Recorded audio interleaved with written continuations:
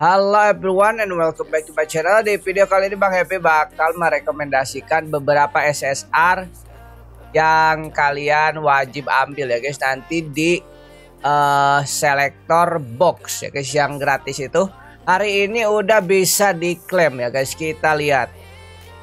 Untuk ngeklaimnya sendiri kalian tinggal ke menu ini ya guys Yang ada kado Terus event.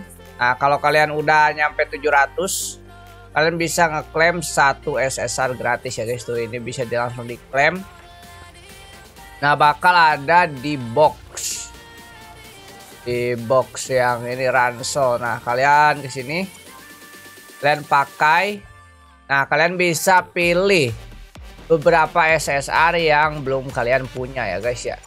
Oke guys kita bakal bahas SSR mana yang harus kalian ambil ya guys rekomendasi dari Bang Happy kita ke videonya, let's go.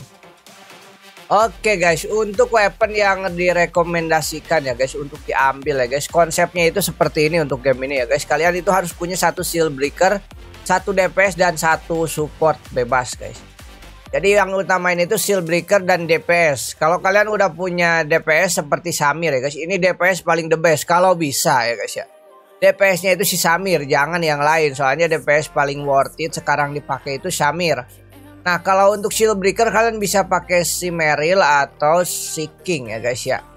Antara itu kalian juga harus punya salah satu shield breaker ya guys ya. Jadi gitu guys. Kalau kalian udah punya Samir, belum punya King sama Meryl, berarti ambil salah satu ya guys. Tapi rekomendasi saya mending si King ambil kalau kalian mau si pas dipasangin sama si Samir. Nah kalau kalian mau investasi buat PPP kalian bisa ambil si Meril guys. Jadi gitu guys. Untuk rekomendasi weapon yang harus kalian ambil pokoknya tiga senjata ini guys. Senjatanya Meril senjatanya King buat hancurin seal satu DPS senjata Samir yang lain agak kurang kalau menurut saya guys. Pokoknya ini bebas mau dikas mau dimasukin Koko mau dimasukin siapa bebas ya. Satu lagi ini bebas. Yang penting dua ini nih senjata DPS dan shield breaker guys. Wajib pokoknya guys pokoknya Samir wajib punya guys. Intinya kuncinya di Samir kan DPS shield breaker kalian bisa pilih antara King dan si Meryl. Nah untuk ininya kalian bisa ambil di sini. Untuk selektor gratis ya guys ya. Tinggal kalian pilih aja guys. Masuk ke menu ini. Ransel Terus kalian lihat di sini. Nah, di sini pakai. Nah, di sini kalian bisa pilih. Jangan salah pilih guys, asli. Pokoknya antara King, Meryl atau Shamir guys. Antara tiga ini guys paling worth it. Kalau menurut saya guys. Tapi kalau kalian punya rekomendasi-rekomendasi lain, kalian juga boleh komen di kolom komentar. Tapi kalau menurut saya tiga hero ini kalian wajib punya guys. Tiga senjata ini asli. Ini DPS, di sini dua shield breaker. Dua shield breaker ini bakal kepake. Satu king buat world boss. Nah kalau Meryl nanti buat PPP ya guys ya. PPP mode adil. Jadi aman guys. Jadi wajib punya si Meryl kalau pengen main PPP. Soalnya si King ini agak susah guys. Kalau PPP makan lawannya itu kecil-kecil guys. Player bukan bos. Kalau bos mah gede. King enak area. Tapi kalau Meryl ini wah bisa serangan kejut guys. Ultnya sakit banget ini asli.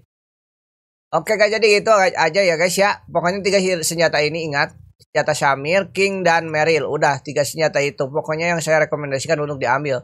Terutama kalian kalau yang belum punya Shamir, ambil Shamir. Dan kalau kalian udah punya Shield Breaker, belum punya Shield Breaker, kalian juga ambil antara Meryl dan King. Oke guys, jadi itu aja guys untuk rekomendasi weapon yang harus kalian ambil di uh, selector box ya guys ya. Jika kalian pengen top up Tower of Fantasy ya guys untuk Blessing, BP ya guys dan Titanium, kalian boleh kunjungi nushop.id ya guys ya. Di sini harganya murah, aman dan terpercaya. Sampai bertemu di video selanjutnya. See you next time. Bye bye.